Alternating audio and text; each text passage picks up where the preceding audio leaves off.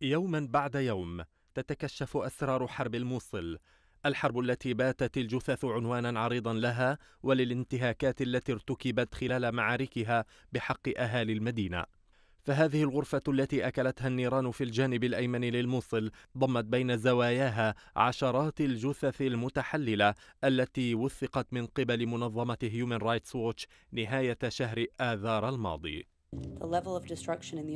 حجم الدمار في المدينة لا يصدق والجثث لا تزال مرمية في الشوارع. اكتشفنا موقعا صادما غرفة مليئة بجثث متحللة لعشرات الرجال.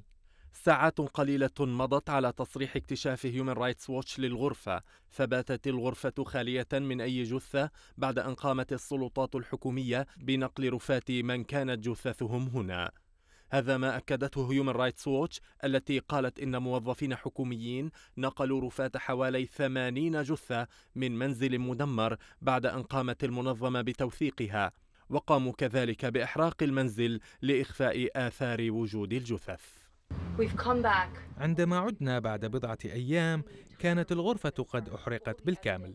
دمرت كل الأدلة على جريمة حرب محتملة. كل ذلك يدل على احتمالية أن تكون السلطات الحكومية مسؤولة عن إخفاء أدلة جرائم الحرب التي ارتكبت بحق أهل الموصل.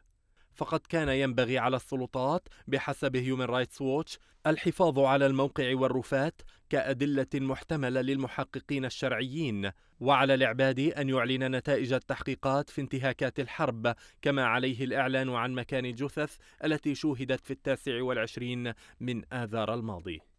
ومع تواصل أزمة الجثث في الموصل يبدو جليا أن الانتهاكات الحكومية خلال الحرب فيها تخطت الخيال.